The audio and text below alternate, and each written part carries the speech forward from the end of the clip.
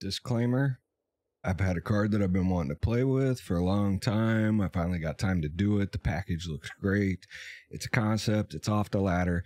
Welcome to Channel It Resolves, where we play a different deck list every video. My name's Country Fried, and today, Pound of Flesh, Orzhov tokens. Let's take a look.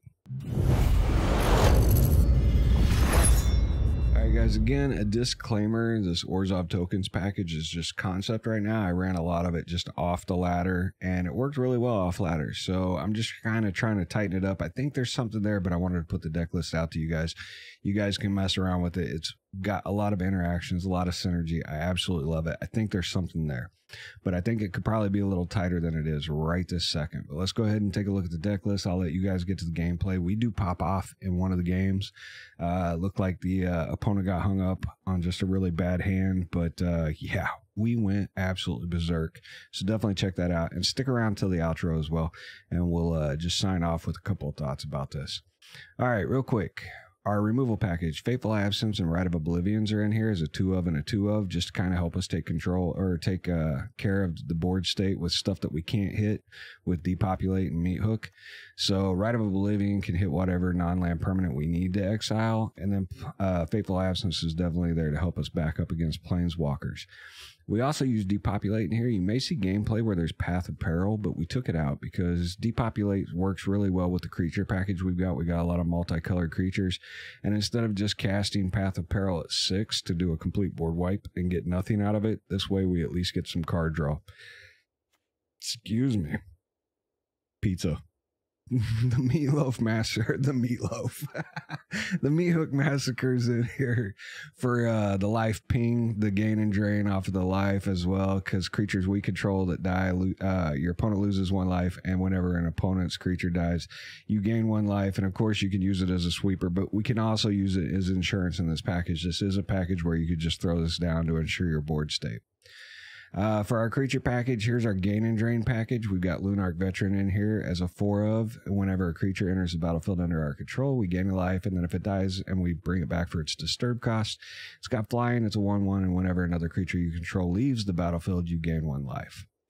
Uh, we got Elas Il-Kor Sadistic Pilgrim in here, one of my favorite cards from the new set. It's 2 2 Death Touch, and whenever another creature enters the battlefield under your control, you gain one life. Whenever another creature you control dies, each opponent loses one life.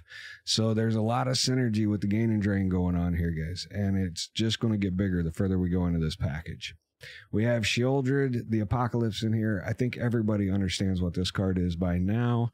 It's Death Touch. It's 4 5. Whenever you draw a card, you gain two life, and whenever an opponent draws a card, they lose two life. We've only got it as one of because this is not the center of our package. Our package is the gain and drain, and it all works synergistically together. Coming up next is the card that I've been wanting to play with that I haven't had time, but we finally put a package together that I think has something there we just got to kind of tighten it up a little bit. And that is Fleshtaker. Flesh Taker is a one white, one black, two two human assassin. Whenever you sacrifice another creature, you gain one life and you scry one. You can pay one and sacrifice another creature to Fleshtaker, and it gets plus two plus two until the end of turn. So if you sacrifice creatures, this thing gets plus two plus two until the end of turn. And if you've got two of these on the field and you do you do the sacrifice with one, both of them get the plus two plus two. I didn't know that, but I saw it in the game. So now I'm aware. We also have braids in here as a sacrifice outlet, and you're wondering why there's a sacrifice outlet. Well, it's Orzhov tokens. We're getting there. At the beginning of your end step, you may sacrifice an artifact, creature, enchantment, land, or planeswalker. So we're just kind of stressing the creatures for the opponent out. Um, and then, of course, if they don't want to sacrifice their creature, they lose two life and you draw a card.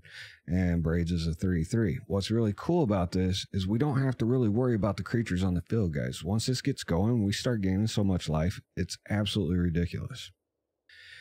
We have three wedding announcements in here. At the beginning of your end step, put an invitation counter on wedding announcement. If you attacked with two or more creatures this turn, draw a card. Otherwise, you create a one one white human creature token.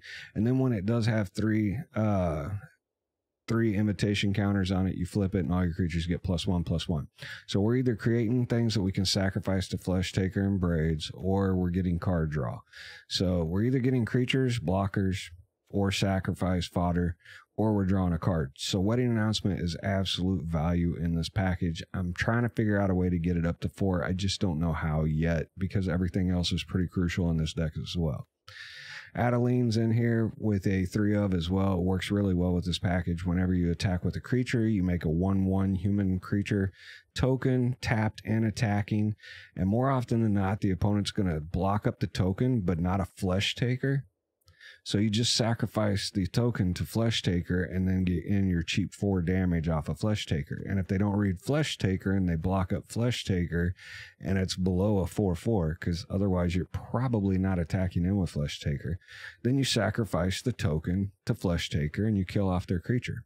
So Fleshtaker is a whole lot of utility in this deck list. Really nice. Plus you gain life off of it and you get to scry one.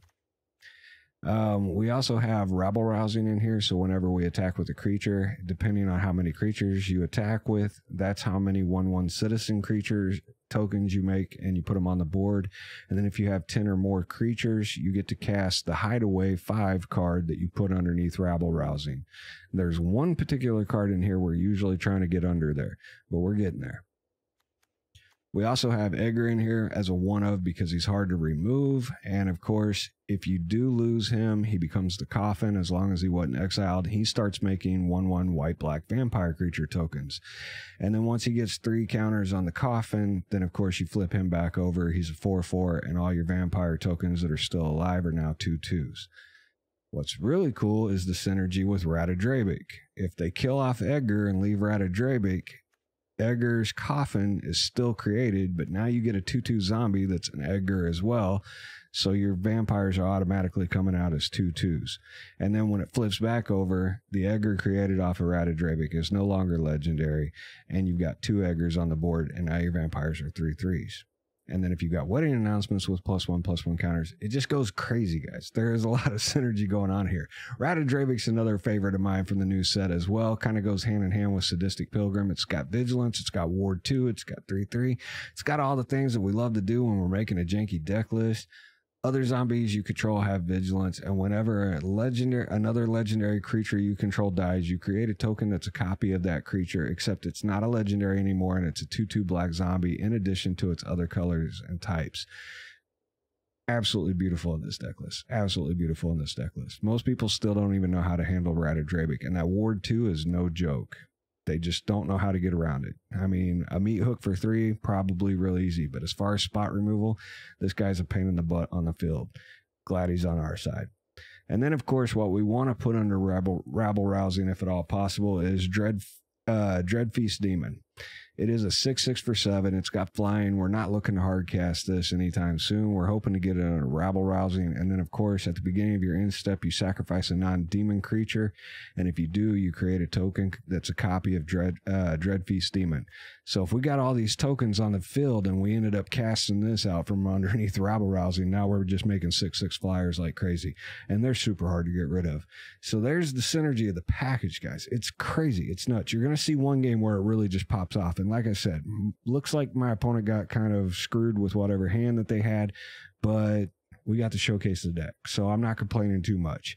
Our land package is two seats of, of the Empire, the Eiganjos, so we can do damage to creatures blocking or attacking. Got five plains, four swamps, two Takenumas in case we need to return a creature from the graveyard, which normally, if we do, we're trying to get Adeline back because we're really liking the Adeline synergy with Fleshtaker. It's amazing. Don't underestimate it. We also have the four caves in here, the four sanctums, and then the three Plaza of Heroes. Look, people still aren't reading Plaza of Hero. For that three cost, and you sacrifice it, and you can make a legendary creature hexproof and indestructible. So keep attacking him with your pilgrim if you've got Plaza of Heroes and enough mana on the field. When they finally do decide to block it because it's got death touch and they just need to get it off the field, then you pop this, you make it indestructible, and you still keep it around. And then they'll read Plaza of Heroes once it's exiled. But that's their fault, not ours. Even I don't like to read cards, but sometimes I have to, so I know what's going on.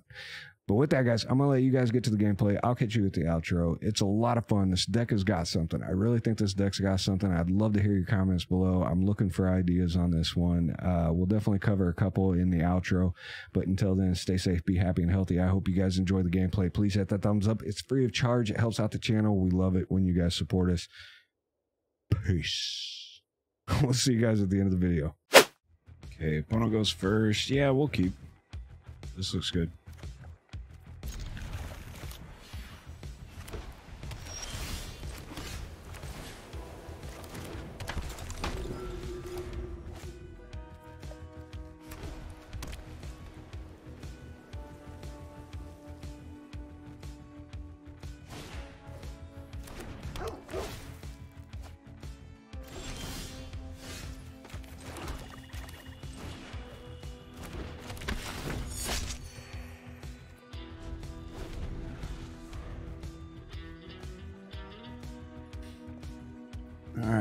Right.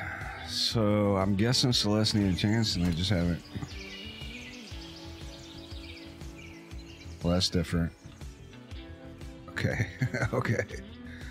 Oh man, we're not even on the ladder. What is going on? Okay, that's fine. We'll try it this way.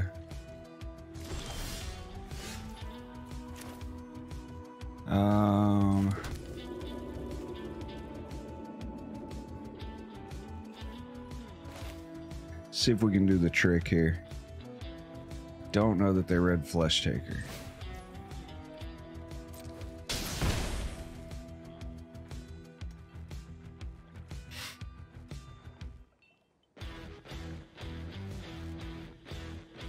So what they got? Boona safety?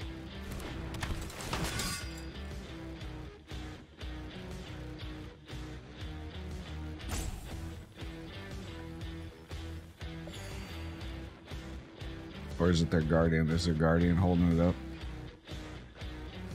Mm. No. It's probably Boona safety.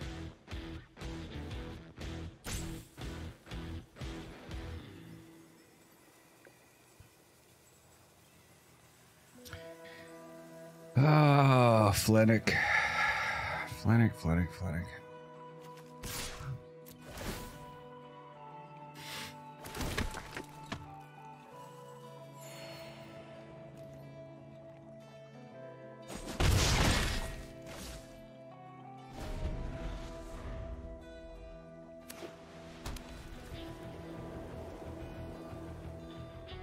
Should have taken it while you could. It's a good one.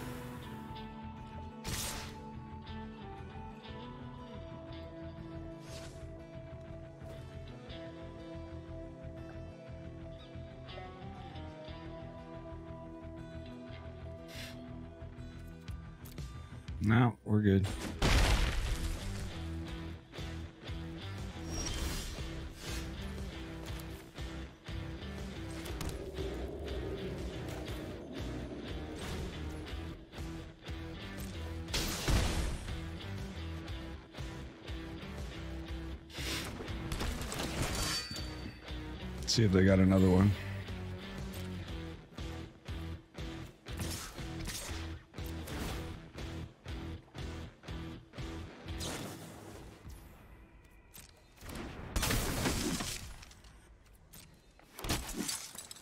see if they read it.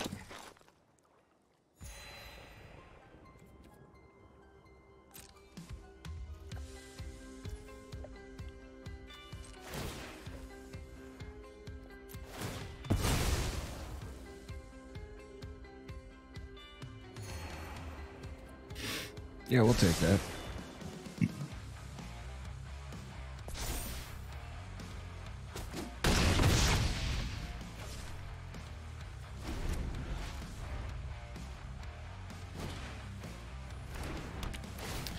Out of lane. Sure. And they're all about lane. That's fine.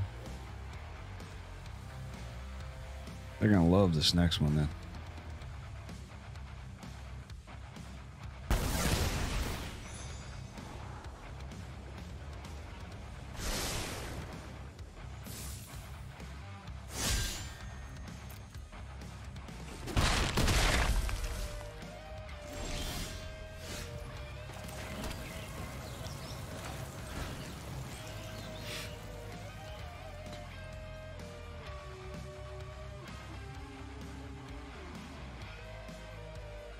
Gonna love it. You're gonna love it. Let it land. okay. uh, let's see. Oh my god, that's so that's just bad, man. The whole thing's just bad. Um, sure.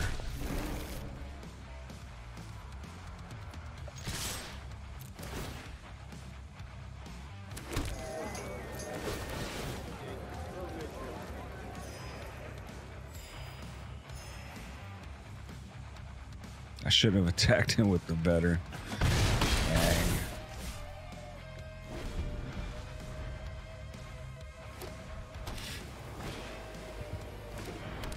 Nice.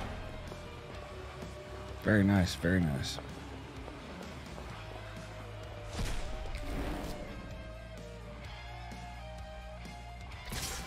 Heck yeah. Attacking with all of it.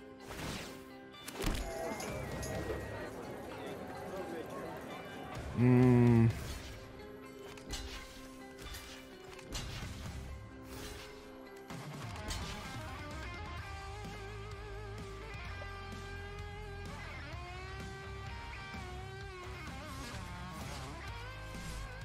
No blocks.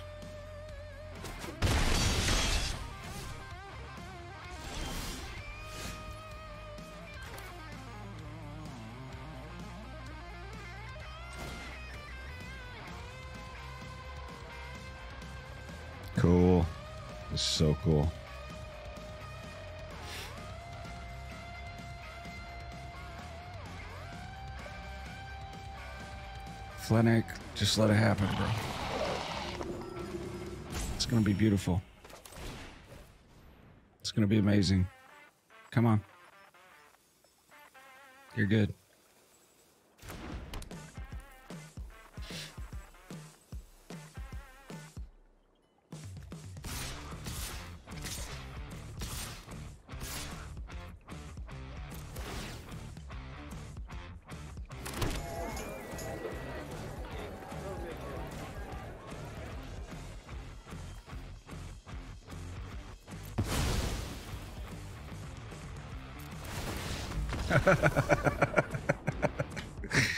So many life gain triggers. it was ridiculous. All right, GG's. This month's Patreon rewards feature some of the most impactful lotuses in Magic's history. Check out all the details and sign up at patreon.com slash it resolves. All right, so we're off the ladder trying to test this out to tighten it up so we can take it on the ladder. Uh, we kept the opening hand. The opponent took a long time. We'll see if we're up against mono red, mono black, or flyers, because that's all we've been up against off the ladder. Holy God, we're up against something different. Watch it be uh, Grixis Graveyard or Reanimator. It's going to be great.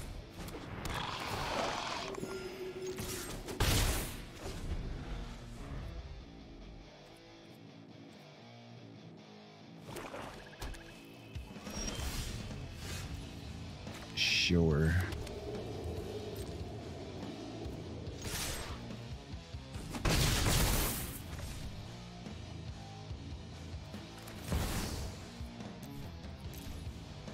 Punish them if they decide to wipe the board. Oh, better Infernal Grasp something now.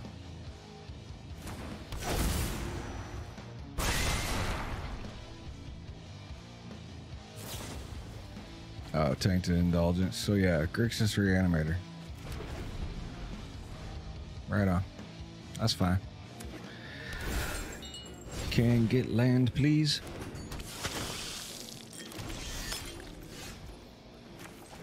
Awesome. Thank you.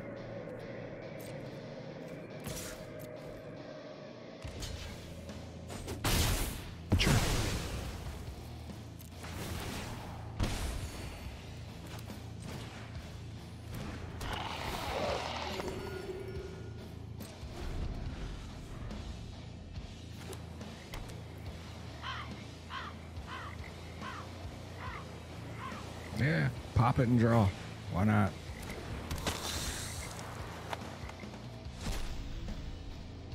Cool.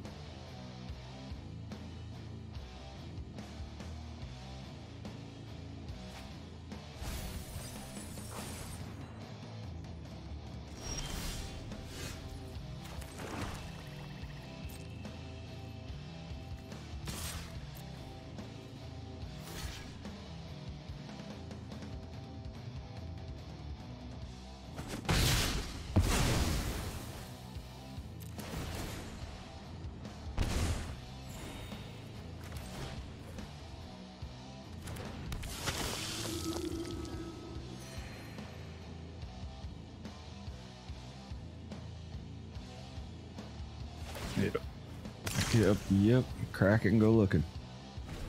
Soul Grace. Right on.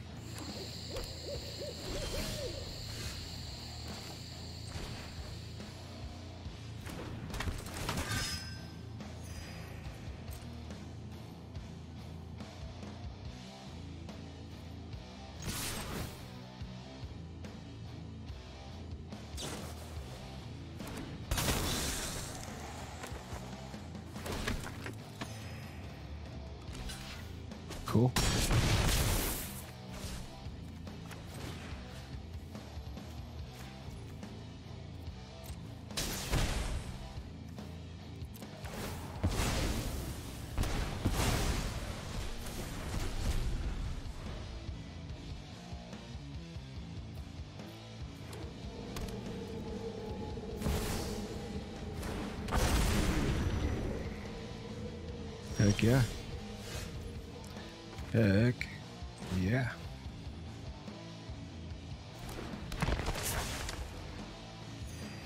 Meet Ratadrabik.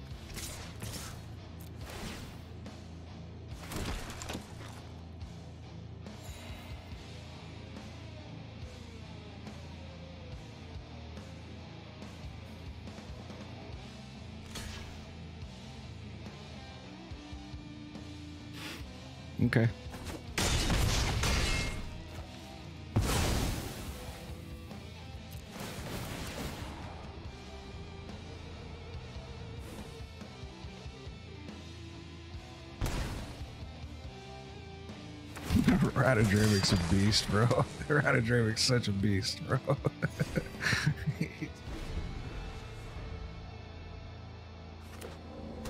All right. Sure.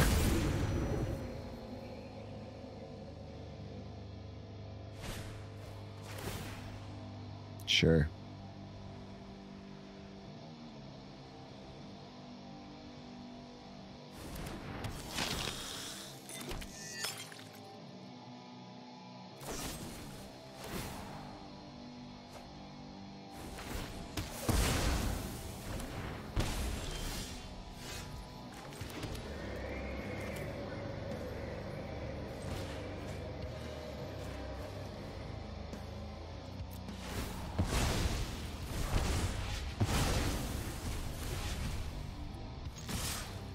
All right.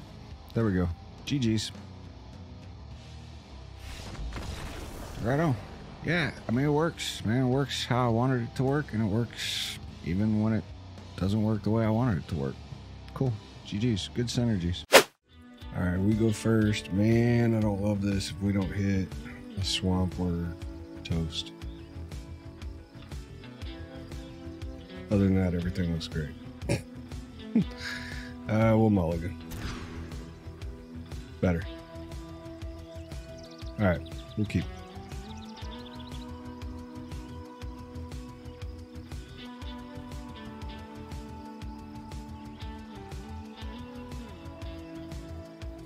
Just waiting on the opponent. Sorry. Man, that was rough. Um, yep.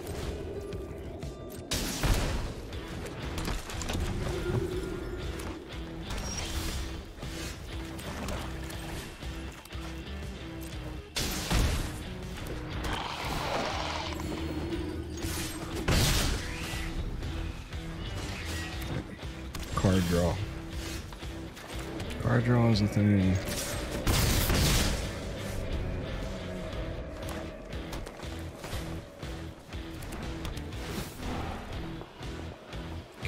straight to fire rigging.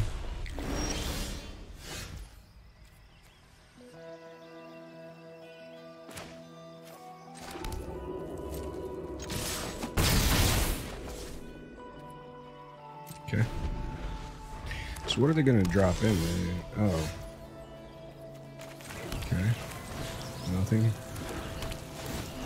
God, man. This is about to be the most boring game ever.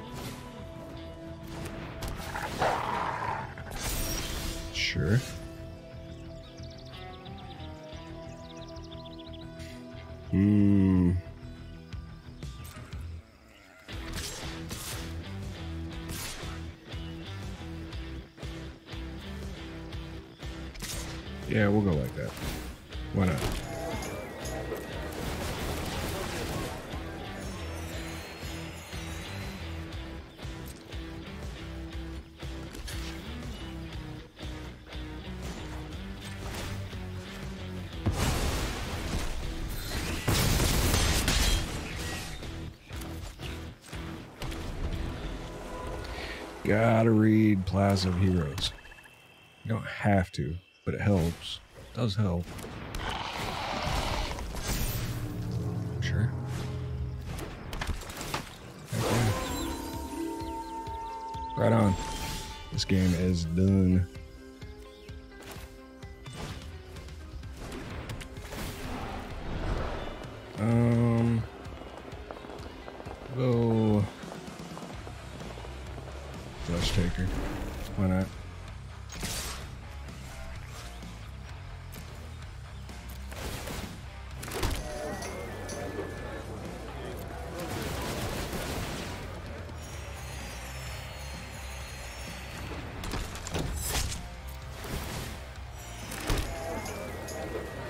Oh my god, bro! What in, what in the world, man? yes. so stupid. Hell yeah! Stack as much as possible. Let us do this.